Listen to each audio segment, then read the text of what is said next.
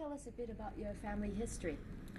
My grandfather had one original wife, and then he had a girlfriend, and then he um, married Sung Ching Ling, who is the well known wife of his uh, worldwide. However, my grandmother was the only wife that had any children. And she had one son, which is my father, and two daughters. And the two daughters don't have any descendants left. Uh, so all the descendants of my grandfather are, are from my father. And my father had two wives. His first wife had um, two sons and two daughters. And then his, my mother is the only second wife that he recognizes. And I'm uh, the only child between them. Um, my um, grandfather uh, divorced my grandmother in order to marry Sung Ching Ling, and according to my father, um, my grandmother was illiterate, and so my grandfather asked my grandmother to put an X on this document because it was for the country's benefit. So um, my grandmother was divorced, but of course, in the old days, they were match made anyway, so it wasn't a marriage of love, and my grandmother accepted that. And my um, grandfather's elder brother, uh, who educated my grandfather, took care of her, and she lived with the uh, elder brother's family for the rest of her life, and not, I'm sorry, not for the rest of her life, but uh, until they died. And they took care of her, and my father then took care of her after my grandfather died. So she was always well taken care of. It was just that it isn't the kind of marriage that people expect now. Um, on paper, she was no longer the wife of Sun Dr. Sun Yat Sen, but was she still considered wife number one? Yes, yes. And uh, according to uh, Taiwan history, they still recognize her as the official wife.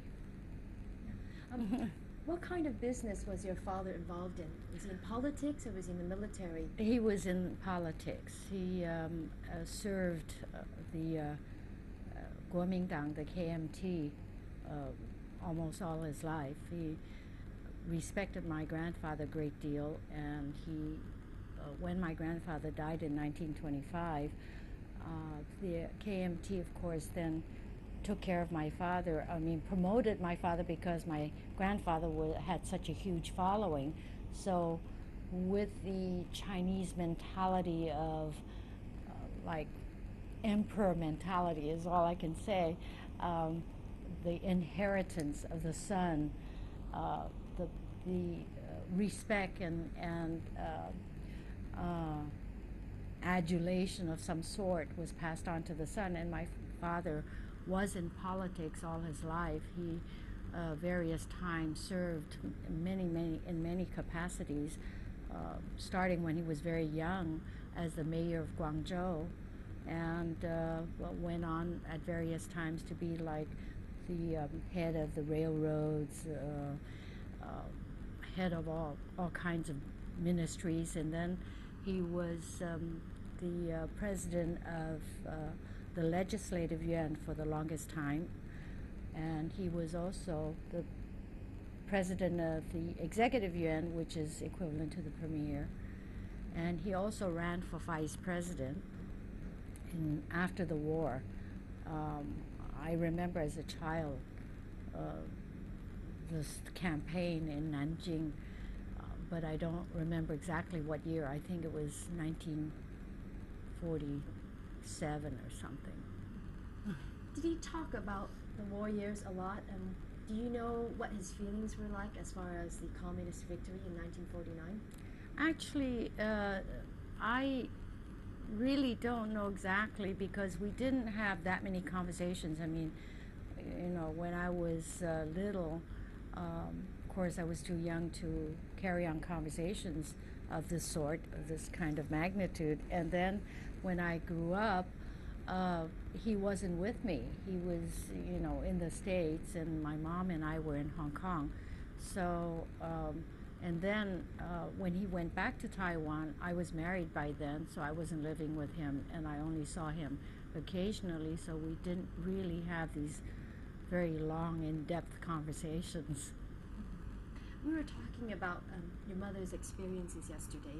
Can you tell us a, bit about that as far as leaving China and having this idea that things will blow over and sh- she'd be able to return quite quickly? Yeah, well, um, China has always had always been at war, and my mom was born in of an age where there were always um, turmoil and uns- unsettlement, and people were always refugees running around from one parts of China to another, or one city to another, or from the north to the south, or vice versa. So it was a, a sort of just uh, nature that uh, people, Chinese people, did not have a safe, content, secure way of life. And so uh, when, and of course, my mom lived through the Japanese um, occupation and the Japanese um, uh, war uh, with China, and so, you know, uh, people just sort of accepted, and the most valuable thing um, to uh, the people is land. Land was always there. People come and people go. Regimes come and regimes go. People ran away and were refugees. But if you own the property and you own the land, you own the houses, that belonged to you. Didn't matter who came and who went. So my mom um, was very uh, was a very unusual woman. She was first of all she was like the toast of Shanghai. She was gorgeous. She was everybody knew how beautiful she was, and my um, my father at one time uh, offered his resignation to the uh, KMT government uh, in defense of my mother because the government was accusing her of something that was wasn't true, and he said that if they didn't, uh, you know, release her, and he was going to resign, and so um, she was really a well-known beauty, and. Uh, anyway, she was in on top of being gorgeous. She was also very clever. So she made a, a, great deal of money, invested in a great deal of property, properties in Shanghai, and so to her that was her worth. She was always going to have that, and uh, so when the communists uh, was having these. Um, uh, problems with the nationalists and there was you know, potential overthrow of the nationalists and the communists were going to take over one parts of the country or another. And this had been going on since World War II because when World War II happened, everybody was focused on fighting the Japanese. But then after 1945, when War over VJ Day happened, uh, then the communists and nationalists started really going at it, and they started losing places and prop uh, locations and and this war really went into earnest. The uh, uh, you know internally. So then um, my uh, dad sort of uh, told my mom, "Don't worry about it," you know, because she had all this property, in, uh, all these properties in Shanghai. So my mom thought, well, people come and people go. You know, her properties will always be there. So just on the safe side, she took some whatever deeds she had because in those days a lot of the property didn't even have deeds. But she uh, and times were kind of a mess, you know, things were going. Anyway, she did get the deeds of some of the property that you know she went ahead and got, and she took those deeds with her. And uh, later on, she told me she figured, you know, people come and people go, and uh, regimes come.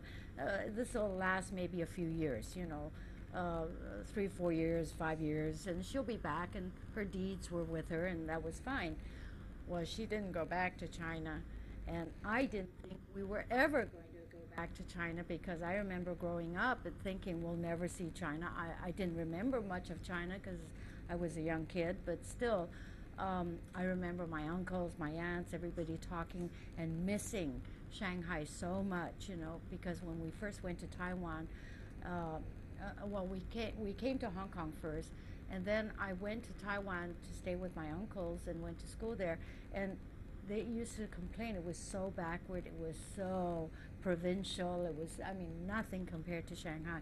And I can remember they always complained. So I didn't think we were ever, ever going back to China. ev- We would ever see China again because, uh, you know, the communist just wasn't something that you would go back to, and and that was like the bamboo curtains came down. That was the end. And so I told my mom, and she was hauling these deeds around. I said, "Oh, throw them away, burn them up. There's no use. You know, there'll never be any use. We're never going to go back there." And of course, um, 1978 happened and, and came and the U.S. recognized China and that was the first time once the U.S. recognized established official uh, diplomatic relations that was the first time I felt confident that I could go to China because in the old days you didn't dare you could always go to China but nobody dared go because that was the one place you could go but you're not sure you're going to come out and uh, and uh, there there used to be a saying about poor Chinese. You know, in in Hong Kong, you could uh, you couldn't come in. It was very difficult for Chinese to come into Hong Kong, but you could leave any time. It was very difficult. It was very easy for Chinese to go into China, but you couldn't leave. So it was the opposite. However, in Taiwan, it was difficult to go in and it was difficult to go out because you had to have entry permit, which had to be guaranteed by people. Uh, even if you had a KMT passport, which we all carried, we couldn't go in and out of Taiwan without an entry permit and an exit permit. And to get an entry or an exit, you didn't just go to the police station get it stamped. You had to have people guarantee that you were, I don't know what they guaranteed, that you weren't a communist spy or something. And so it was very difficult for Chinese to travel in the old days. I want to follow up on that. There's this climate of fear, really, Mhm. of being caught, either if you're in Taiwan or China and you're trying to get messages or send things to relatives. Well, at either place. I mean, yeah. can you explain? We talked about that yesterday about the dynamics and how people, you had to be very innocuous in your correspondence. Yeah. And, and, and Well- where does Hong Kong fit in all of this? Well, it was um, Hong Kong was like the entrepot. Um, Hong Kong was the Casablanca of uh, Asia because the only and all the CIA, all the uh, spy organizations would come to Hong Kong to find out what was happening on the mainland. I mean, uh, this was the, the one place that there were trickles of people coming from the mainland because the border was there, and people would either swim and escape, or they would have relatives and somehow would, you know, come out to Hong Kong. Anyway, there were there may be trickles. I don't know exactly how the uh, refugee um, uh, came through to Hong Kong, but that was the place where there was little cracks to this bamboo curtain that had fallen in China that nobody knew what was happening behind it. So people, uh, all the refugees that had poured out of China uh, in 1948, 49, 50, in the early days of communism, all the all the diaspora diaspora went off. Either the KMT would all go to Taiwan, uh, and uh, uh, many of the people, business people, would go to the U.S. There were a huge uh, um, population of Shanghainese that went to New York uh, because they were all wealthy businessmen. And depending on how wealthy, if you were with the government, you went to Taiwan.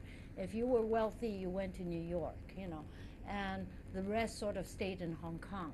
Uh, I mean, the the not as wealthy, not very uh, political people stayed in Hong Kong because they couldn't afford to go to uh, the States and they didn't feel like they wanted to join the KMT in Taiwan, so they remained in Hong Kong. But they were definitely not going to stay in communist China because they felt they would be um, punished if they stayed there because either they were they may not be that wealthy, but they were still business people or the capitalists or whatever.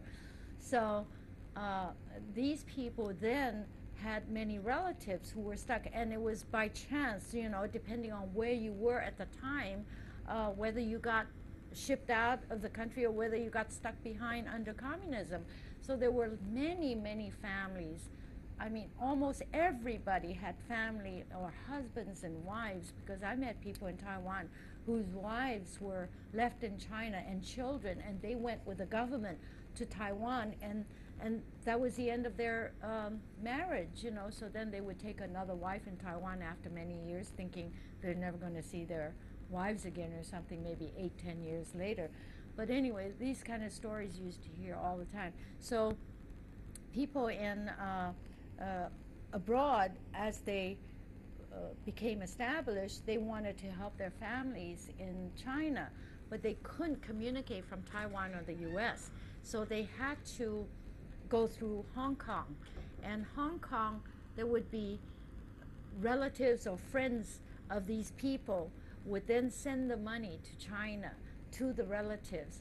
And the communist government knew that this money was coming from abroad, but they didn't stop it because this was their way of getting a great deal of foreign currency, uh, foreign support, because all this money was coming in from relatives of families in, in China. So they used that, they didn't stop it. Um, and, and uh, but then when they were writing letters to each other, they had to be very careful because the people in China was very careful what they wrote because anything they wrote could be used as evidence against them when there were all these programs going on, you know, all of a sudden all anti-rightist, anti-this, anti-that. So they were always very afraid what they might write uh, to their families abroad. And then the families abroad would be very afraid what they would write to their relatives in China because whatever the letters they wrote might indicate they're in the U.S. or in Taiwan, which be which would be very bad. So they would write these innocuous letters to each other that, you know, didn't say anything because they were afraid to uh, even give a hint of where they were, uh, and it was very sad, you know, because here's one country and all Chinese people, and they, you know, as one a, a, Chinese friend of mine said to me, look at all the statues in China. There isn't one statue that's erected because this man was brave enough to fight out, fight a foreign invader. All the statues they have erected in China are heroes of people who have killed other Chinese.